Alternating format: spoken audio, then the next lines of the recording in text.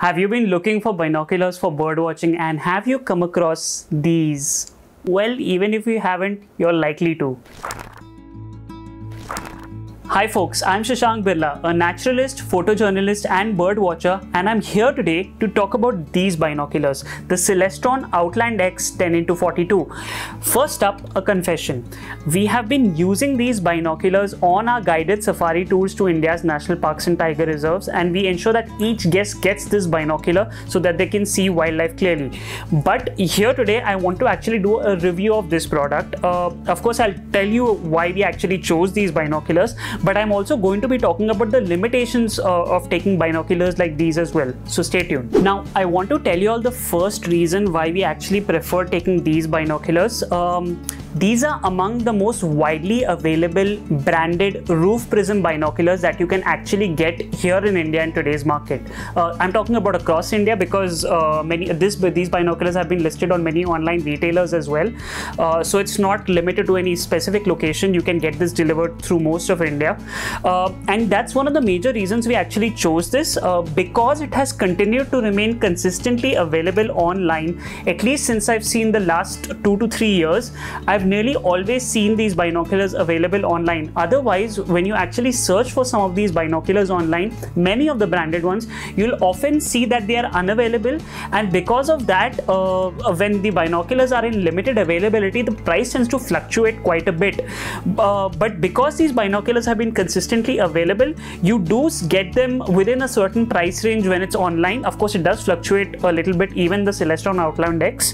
Uh, but that's the reason uh, we firstly chose these binoculars, uh, we needed quite a few of them and we needed it for our guests. So because these were widely available, uh, that's one of the reasons we actually chose them as I mentioned, this is a roof prism binocular uh, and the specification, which is the magnification is 10x uh, and the size of the objective lens or the diameter of the objective lens is 42. So that's the specification 10 into 42. In case you're unfamiliar with both these terms, roof prism and 10 into 42, you can check out this previous video as well where I've explained these terminologies. So you'll get a better understanding of, you know, why we chose these binoculars. Now the first thing I'm actually going to be talking about is the weight of these binoculars and it is such a relief uh, because it just weighs in a little over 600 grams. So very very light can be easily carried for long durations in the field. You can just you know put this around your neck and you can comfortably wear it for a long duration. It's not going to add a lot of weight to your neck until it's until unless it's going to be about 5-6 hours of birding that you're going to be doing. But uh, apart from that this is very very comfortable to use from a weight perspective. Next, I'll come to the make of these binoculars. So this is made from a polycarbonate body, uh, fairly tough and most importantly, it's smooth, easy to hold and grip for long periods of time. Uh, apart from that, these particular optics are actually made from BaK 4 prisms. Uh, now that's a type of high density glass design and that is pretty much industry standard for these uh, range of binoculars. So you are definitely uh, not falling short there. Uh, that's something definitely to go with in this particular range.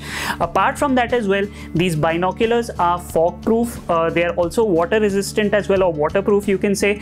I've tested these in conditions where you know it's been foggy, misty and I've also used them, used them in conditions where there has been rain as well. Absolutely fine. Just ensure that you give them a quick wipe and they're good to go apart from that you can check out uh, these rubber eye caps as well. Fairly easy to just you know remove. All you have to do is just pop them off basically. And even the one behind all you have to do is just remove this particular uh, lens cap as well and you're good to go. Fairly easy to use as well. In fact you can attach it to your strap uh, so that you know you don't lose it. Uh, but and the front of course stays fixed on. So all you need to do is actually just put it back and you can just safely conceal these binoculars back into your pack a few other features that actually stand out in these binoculars. One is definitely this focus dial just about perfect uh, because it is neither too tight nor too loose just the right amount super smooth. All you have to do is just put it to your eye and just you know you can even do tiny alterations in this. It's nice very very intuitive. I really like the focus dial. Uh, apart from that as well uh, like many other roof prism binoculars this can be adjusted to your specific eye and nose structure. So, you know, however you are comfortable, you can adjust these binoculars. Uh, and the third thing that I want to look at in terms of its usability are its eye cups. Now, they basically twist up as well. This I recommend when you're actually not going to be wearing spectacles. If you are wearing spectacles, then just keep them twisted in. All right. So that's another useful feature in these binoculars.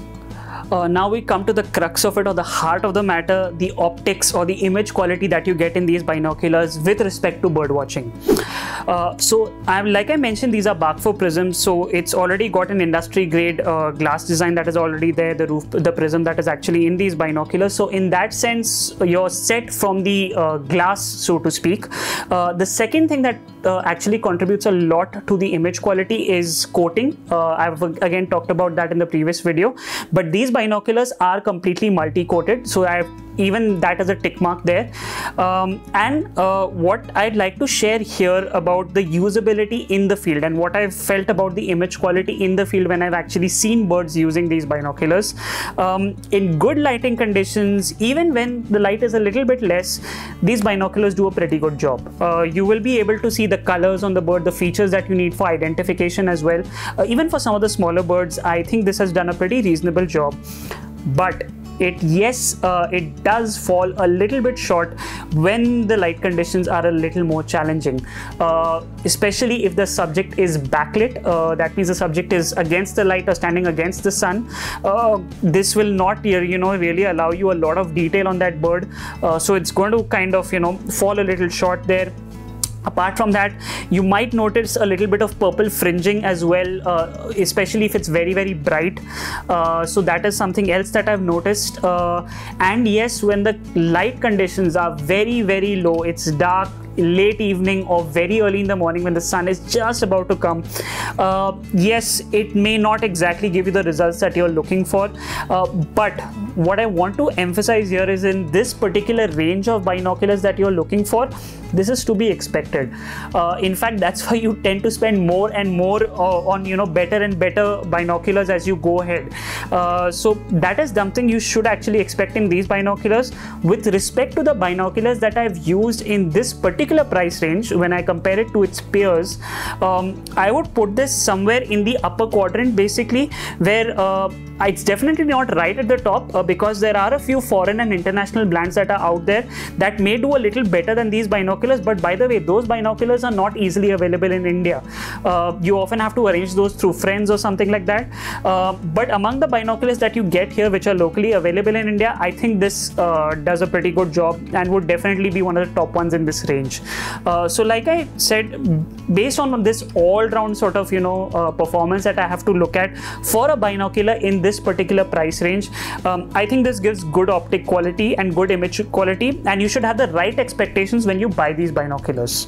Uh, another thing I'd of course just briefly like to touch upon is this neck strap. Uh, this actually comes in with this particular binocular set. You get a cleaning cloth as well. Uh, one little thing I felt about these neck straps is that they are not very comfortable, uh, especially in hot and humid conditions when it gets a little sticky.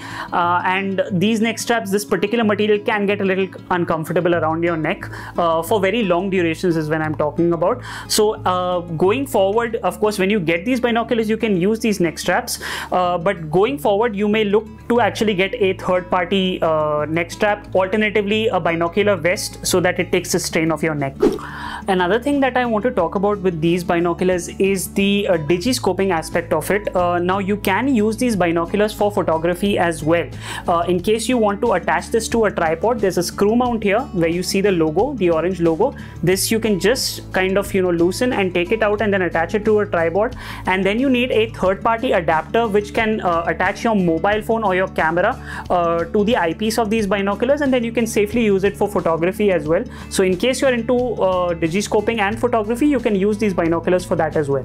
Now, another thing that I'm sure you're interested to know about is the price of these binoculars. Uh, and the price range I've seen for these particular binoculars seems to vary from the 8000 INR range going up to 11,000 INR. Uh, it can go a little above that or even a little below that when I've checked these prices online and this seems to be largely dictated by availability of these binoculars. Another thing that you should look at uh, with regards to the pricing of these binoculars is the exact specifications. Now this is the Celestron Outland X 10 into 42. In fact, in the Celestron Outland X series, there are a few more models which are also available. I have written an article where I've talked about the differences with these particular models, what are the advantages and disadvantages when you use different specifications of these models that are available in this series. However, keep in mind that you use those binoculars that I've talked about in that article and not the other models which are also in the series because they are not as suitable for bird watching. All these models that I've talked about do come with limited lifetime warranty as well. Uh, so there's some limitations. You can read the warranty policy on what all this basically covers. Uh, but as long as you take these binoculars from authorized dealers, there will be warranty applicable on it. But ensure that you're doing it through online channels which are also authorized. Usually, even if you get them on sites like Amazon and Flipkart, you will see a warranty policy icon also mentioned in some of these models. Now, I've never had the opportunity to actually return these binoculars, uh, but of course, what I've seen in the warranty policy is that you need to return them back through authorized dealers only. Only then will the warranty be applicable. One way you can tell that you're getting this product from authorized sources is ensuring that you get everything that comes in the box along with it. Now, I'm just going to quickly share that. You get this particular binocular case. Uh, you get, of course, the binoculars themselves along with this particular neck strap. Uh, and you also get this particular cleaning cloth as well uh, with these binoculars. So ensure that you have all of these things when you actually order these binoculars in summary these are really nice binoculars to go with. Uh, i've been very very happy with them uh, when we've been using them on our safari tours. Uh, they have been giving me our guests on safari as well really nice views of wildlife and especially of birds. They can really appreciate the details and the colors on the birds as well. So i have no hesitation recommending these binoculars uh, these are really good binoculars to get in case they are your first binocular for bird watching and also in case you are upgrading to roof prism binoculars from the heavier porro prism binoculars that are actually there. Um, that is in case your budget is restricted. The additional note that i would like to share is that uh, if bird watching becomes a consistent hobby for you over time say you've been doing this at least for approximately three four years or so then yes you may look to upgrade from these particular binoculars uh, but of course the price range will then increase as well. So like i mentioned a good binocular to start with. Uh, you can safely take this and like i mentioned it's widely available. So i think you should have no problem in actually getting these binoculars online as well. I wish you the best for your bird watching journey uh, and in case there are any queries that you guys have with regard to these binoculars or using them in the field do drop them in the comments below. And if you enjoyed this video enjoyed this review and found it of value please do subscribe to our channel. We'll really appreciate the same Thank you and take care.